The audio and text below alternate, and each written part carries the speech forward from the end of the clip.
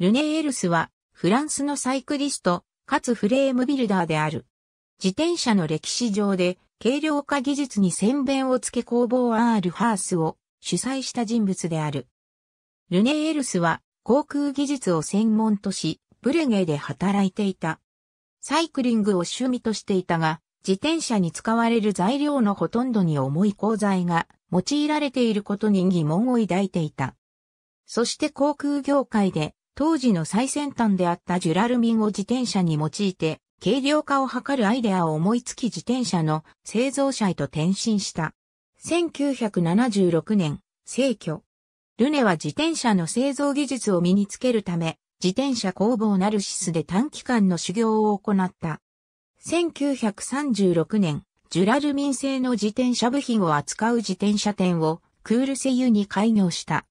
1940年にはパリ近郊ルバロアペレの付近に自転車工房を構えて本格的に自転車の製造を始めた。そして名称としての技術を積み上げ、数々の名車を生み出した。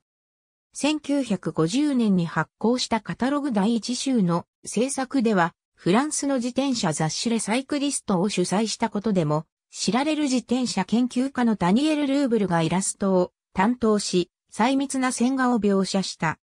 1976年、ルバロアペレで区画整備が執行されるためアニエールに工房を移転した。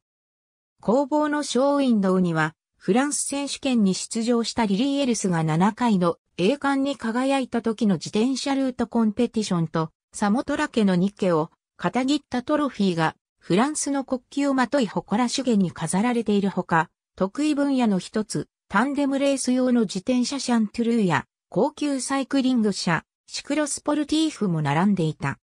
なお、R ハースの技術は1936年の開業以来から右腕となって働いてきた弟子のジャンド・ユボア及び、娘のリリー・エルスへと継承された。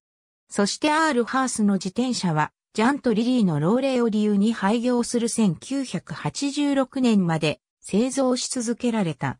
によれば、パリメトロ3号線のポルトド・シャンペル駅より、ペリフェリック環状道路をまたぐ架け橋を渡った近傍に、公募アール・ハースがあった。娘のリリー・エルスがグランドブークルなどの自転車競技で入賞を果たした。またパリブレストパリのロングライドを行うブルベや、ロードレースのツールドフランスなど、いくつかの自転車競技で、エルスの自転車を採用した競技者たちが入賞を重ねた。自転車競技の実績から、ルネスの自転車は注目を集めた。日本の自転車業界ではイギリスで発達していった自転車を手本としていたが、昭和20年代頃よりヨーロッパ大陸の自転車についての研究を始めた。1954年、研究の一環として自転車業界団体の海外視察事業において、鳥山新一らが、公募 R ハースより、フッツ、ランドンネウセと、フッツ、サイクロスポーティフという自転車を持ち帰り、ガント自転車と共同研究を重ねて、ランドナーやスポルティフの礎を生み出した。ありがとうございます。